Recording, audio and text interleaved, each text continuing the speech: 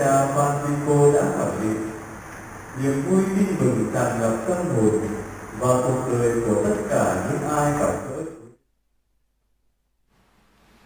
Một tâm hồn tràn ngập niềm vui là một tâm hồn được biến đổi, có khả năng sống yêu thương và trao ban lòng thương xót như Chúa đã yêu thương. Ông ra Kêu khi gặp gỡ và được Chúa Giêsu viếng thăm đã cảm nhận được lòng Chúa thương xót, tâm hồn chan chứa niềm vui. Ngay lập tức, ông cho đi phân nửa gia sản và sống công bình bác ái hơn. Thánh Phêrô sau khi đã chối thầy ba lần nhưng vẫn được thứ tha, đã tràn ngập niềm vui và sẵn sàng yêu Chúa nhiều hơn những người anh em khác. Trong giờ cầu nguyện này, chúng ta cùng cầu nguyện cho các linh hồn nơi luyện ngục. Đặc biệt, chúng ta cùng cầu nguyện cho những người nghèo và cho các hoạt động bác ái của Tổng giáo phận Hà Nội. Xin cho những người nghèo luôn được sự yêu thương giúp đỡ của mọi người và cầu nguyện cho chúng ta biết biểu lộ niềm vui của một tâm hồn được thương xót qua việc biết yêu thương, quan tâm và giúp đỡ những người xung quanh. Hôm nay, con hãy đem đến cho ta các linh hồn trong luyện ngục, nhấn chìm họ trong hố thẳm lòng thương xót của ta. Hãy để suối máu thánh ta làm dịu mát ngọn lửa hồng đang thiêu đốt họ. Những linh hồn ấy đều được ta hết dạ thương yêu, họ đang phải đền trả sự công bằng của ta. Chính chúng con mới đủ khả năng đem lại sự giải thoát cho họ. Hãy rút hết kho tàng ân xá hội thánh của ta, đem trao lại cho các linh hồn đó. Ôi, nếu con hiểu thấu những cực hình mà họ đang phải chịu đựng, chắc con sẽ không ngừng làm việc phúc đức, dâng hiến thay cho họ để đền trả sự công bằng của ta. Ôi Chúa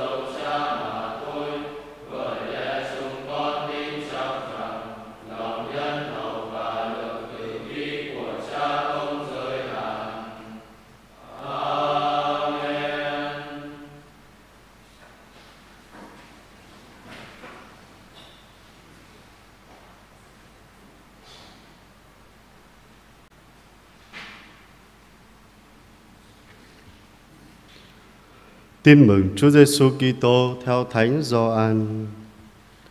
Khi các môn đệ ăn xong, Đức Giêsu hỏi ông Simon Phêrô: "Này anh Simon, con ông Gioan, anh có mến thầy hơn các anh em này không?" Ông đáp: "Thưa thầy có. Thầy biết con yêu mến thầy." Đức Giêsu nói với ông: "Hãy chăm sóc chiên con của thầy." Người lại hỏi: này anh Simon, con ông Gioan, anh có mến thầy không? Ông đáp, thưa thầy có, thầy biết con yêu mến thầy. Người nói, hãy chăn dắt chiên của Thầy. Người hỏi lần thứ ba, này anh Simon con ông Gioan, anh có mến Thầy không? Ông Phêrô buồn vì người hỏi tới ba lần, anh có yêu mến Thầy không? Ông đáp, thưa Thầy, Thầy biết rõ mọi sự, Thầy biết con yêu mến Thầy. Đức Giêsu bảo, hãy chăm sóc chiên của Thầy. Đó là lời Chúa.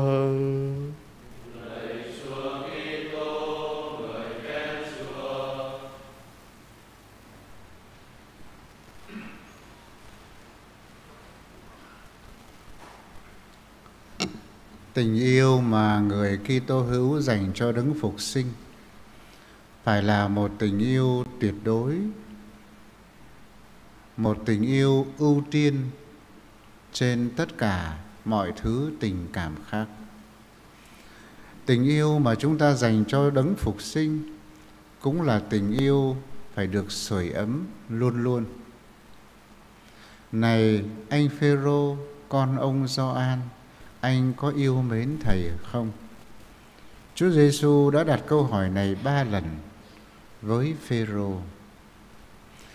Phêrô cũng ngỡ ngàng và như Thánh Gioan viết, ông buồn vì thầy mình hỏi ba lần. Tại sao Chúa Giêsu lại hỏi ông Phêrô ba lần? Có nhiều người cắt nghĩa rằng vì trước đây ông đã chối Chúa ba lần nên bây giờ Chúa bắt ông tuyên xưng ba lần. Nói như thế là chúng ta suy luận theo kiểu con người. Bởi lẽ Thiên Chúa không truy cùng diệt tận, sòng phẳng theo kiểu con người chúng ta. Khi nói đến số ba trong truyền thống Kinh Thánh là con số đầy đủ. Trong cựu ước ngôn sứ Isaiah được chiêm ngưỡng, các vị kỳ lão tôn vinh Thiên Chúa và tung hô thánh thánh thánh. Thiên Chúa ba lần thánh có nghĩa là Thiên Chúa trí thánh, Thiên Chúa thánh thiện vô cùng. Khi Chúa Giêsu hỏi Phêrô ba lần, phải chăng Chúa muốn cho ông tuyên tín một cách quyết liệt, yêu mến Chúa hoàn toàn và yêu mến Chúa ở một mức độ cao cả nhất, mạnh mẽ nhất và tuyệt hảo trọn vẹn nhất. Ngày hôm nay Đấng Phục Sinh cũng đang hỏi chúng ta con là A, là B, là C, là D, là nữ tu, là trùng sinh, là giáo dân, con có yêu mến Thầy không? Và chúng ta được mời gọi trả lời với Chúa như Phêrô không đơn thuần chỉ là một câu có, nhưng Phêrô thưa với Chúa Giêsu lại thầy thầy biết mọi sự. Khi tuyên xưng thầy biết mọi sự có nghĩa là lời thưa của chúng ta phải là lời thưa thật, không phải là lời thưa ngoài môi miệng, không phải là lời chót lưỡi đầu môi, mà là phải lời thưa từ đáy lòng từ trái tim, từ tâm hồn. Trong giờ cầu nguyện này chúng ta cầu nguyện xin Chúa ban cho các hoạt động bác ái của địa phận đạt được mọi điều tốt đẹp. Trong xã hội ngày hôm nay có nhiều tổ chức và nhiều cá nhân làm những công việc từ thiện. Nhưng trong xã hội ngày nay hai chữ từ thiện cũng bị lạm dụng rất nhiều. Có nhiều người coi từ thiện như một nghề để kiếm lời để trục lợi. Xin Chúa cho các hoạt động từ thiện của giáo hội công giáo, của các hội đoàn, của các giáo sứ, của các cá nhân thực sự thấm, thấm đượm tinh thần của Đức Giêsu. Chúng ta không chỉ mang giúp cho những người nghèo một chút tiền bạc của cải vật chất nhưng còn đem cho họ tình thương của Thiên Chúa như Đức Giêsu đã đem tình thương của Thiên Chúa đến với thế gian. Trong giờ cầu nguyện này chúng ta cũng cầu nguyện cho các linh hồn nơi luyện ngục. Giáo lý công giáo dạy chúng ta, những ai sống thánh thiện đạo đức, không vương tội lỗi sau khi chết thì họ được lên thiên đàng hưởng thánh nhan Chúa. Những ai sống gian ác, và quay lưng lại với Thiên Chúa, quay lưng lại với tha nhân, chết trong khi mang trọng tội thì họ phải sao hỏa ngục. Hòa ngục là nơi giam hãm vĩnh viễn, đời đời không có lúc kết thúc. Nhưng mà những ai khi chết mà còn mắc nhiều tội có thể tha thứ được thì họ phải được thanh tẩy tinh luyện trong một nơi gọi là luyện ngục. Luyện ngục là nơi các linh hồn đền tội. Luyện ngục cũng là dấu chỉ lòng thương xót của Chúa, bởi vì Thiên Chúa không trừng phạt con người khi còn có thể cứu vãn. Chúng ta nhớ đến ông bà cha mẹ những người thân của chúng ta đã ra đi. Chúng ta tin chắc có nhiều người đã được hưởng thánh nhan Chúa trong hạnh phúc vĩnh cửu. Nhưng mà chúng ta cũng tin chắc còn nhiều linh hồn còn đang phải thử thách, thanh tẩy, đền tội. Xin Chúa cho chúng ta luôn luôn biết suy tư cầu nguyện để thể hiện lòng yêu mến đối với Đức Giêsu, một tình yêu trọn vẹn, một tình yêu tuyệt đối, một tình yêu trở nên động lực cho mọi lời nói và mọi hành động trong đời sống thường ngày của chúng ta. Con có yêu mến Thầy không?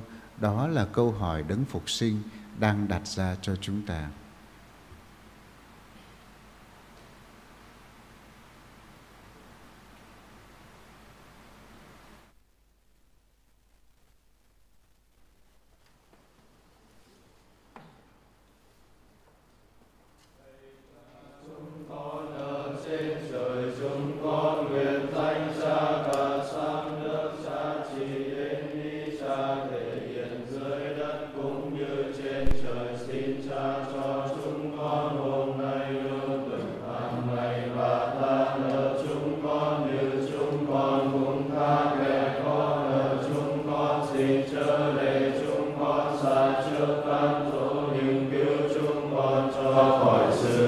Amen.